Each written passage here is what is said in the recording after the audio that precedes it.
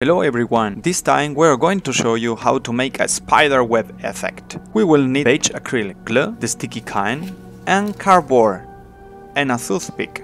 We mix them all together and apply only in some spots and wait for to dry a little bit. And wow, magic! The spider web effect appears. With this weight, the sticky effect will be great.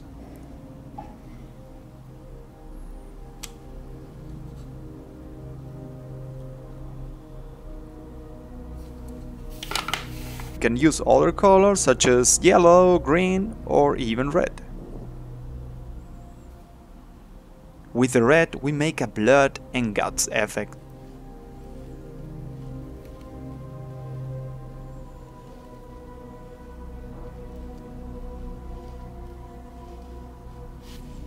We can even use it on our miniatures. Thank you so much and see you next time!